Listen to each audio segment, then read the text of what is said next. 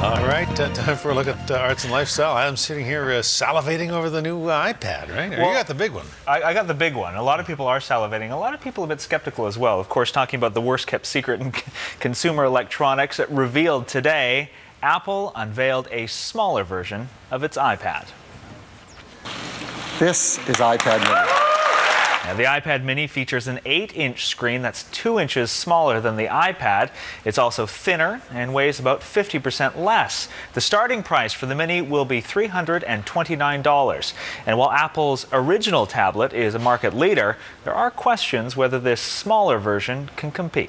Amazon, Barnes & Noble, and Google, the guys who make the 7-inch tablets that are $200, they've really dodged a bullet today because at 329, the iPad mini is a lot more expensive. It really feels like a whole different class of device. Biggest surprise is that the screen is not one of those really high-res Retina displays. It's just a regular 1024 by 768 screen, kind of like the first generation iPad. Apple also unveiled a new, thinner version of its iMac desktop computer and laptop, along with a new, faster version of the larger iPad.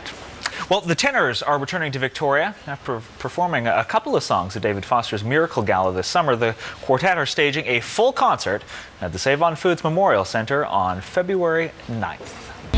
May God bless and keep you always. Uh, it's Port McNeill's Clifton Murray in studio singing uh, Forever Young, a new song from the tenor's latest album, Lead With Your Heart, which features a mix of pop and classical music. The group has earned international acclaim since forming in Victoria in 2007. This island stop is part of a 70 city North American tour. Tickets go on sale next Friday at 10 a.m. And uh, you don't often hear taxes and fun mentioned in the same sentence, but today staff at the Victoria office of the Canada Revenue Agency spent the lunch hour entertaining. Well, we're people like anyone else. Uh, they can have a garage band uh, up their sleeve, and, and until you ask somebody to contribute their talent for the United Way, you never know. Yeah, this is footage from this morning's rehearsal for Canada Revenue Agency's Got Talent. The event at the Odeon in downtown Victoria included a panel of judges along with dancers, singers, and musicians. It's part of the office's attempt to raise $50,000 for the United Way.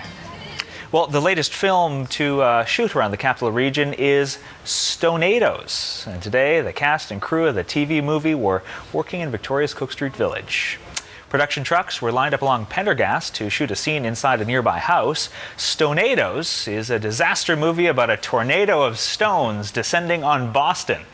It's written and directed by UVic grad Jason Bourque. Its cast includes local actress and former Queer as Folk star Thea Gill. They will be filming at various locations over the next two weeks, including the Inner Harbor and UVic Centennial Stadium.